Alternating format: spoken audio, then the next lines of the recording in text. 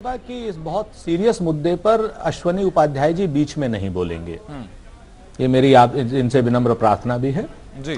देखिए दो बातें बड़ी क्लियर हैं। पहली चीज़ भारत की सेना। भारत की सेना देश के किसी की इवेंचुअलिटी के लिए हाईली प्रोफेशनल है हाईली सक्षम है।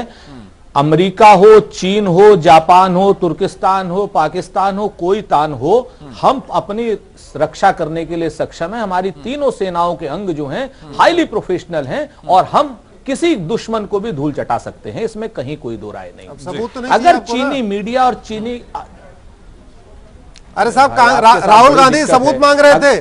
सर्जिकल स्ट्राइक के बाद राहुल गांधी सबूत मांग रहे थे इसलिए आपका स्टैंड अलग है राहुल गांधी का अलग आपको है। आपको आपको आप आप आपको शर्म नहीं आती है आपको अल्लाज नहीं आती है कि देश के मुद्दे पर भी आप राजनीति कर रहे हैं। अरे राजनीति आप कर रहे हैं कम से कम आज तो नहीं नहीं मैं तो आपकी नहीं राजनीति आपके वक्तव्य का स्वागत कर रहा हूँ। राजनीति कर रहे हैं और आप निर्लजता की सीमा लांघ रहे हैं। मैं आप जब मैंने आपसे करबद्ध प्रार्थना की थी मैंने करबद्ध प्रार्थना की थी कि प्लीज़ मेरे बीच में मत आप बोलिए जो शब्द आप जो करना बोलते चाहें, रहे मैंने सुना आप जो शब्द? करना चाहे मैं आपको आप आपका समय। आएगा। आप माफ़ी मांगेंगे। आएगा। आप राहुल गांधी के ने वक्तव्य पर स्ट्राइक भी के आ रहा सबूत मांगा उसके लिए राहुल गांधी के वक्तव्य पर भी आ रहा हूँ। पूछ रहा हूँ, मुझे राहुल गांधी ने जो की नहीं, नहीं, ये इस तरीके अरे ये बड़ी अच्छी अच्छी बातें कर रहे हैं। इनका नेता ट्वीट करता है। इनका नेता सुबह डाउट क्रिएट करता है और यहाँ का शासन भी और प्रशासन भी कर रहे हैं। कमज़ोर आज का ये जो भारतीय जनता आज की ये जो बातचीत शुरू हुई राहुल गांधी की के ट्वीट से शुरू हुई। ये वही राहुल गांधी है जो सेना के लिए सबूत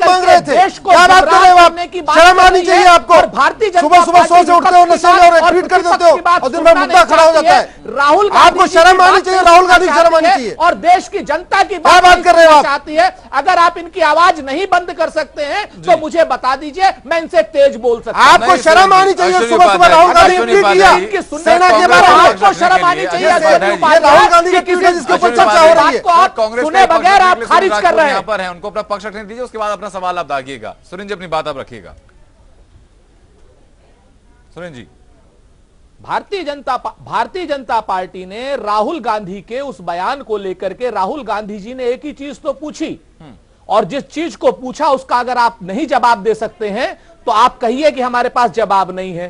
चीनी मीडिया ने नहीं चीनी विदेश मंत्रालय ने क्या कहा है उसको जरा देखिए।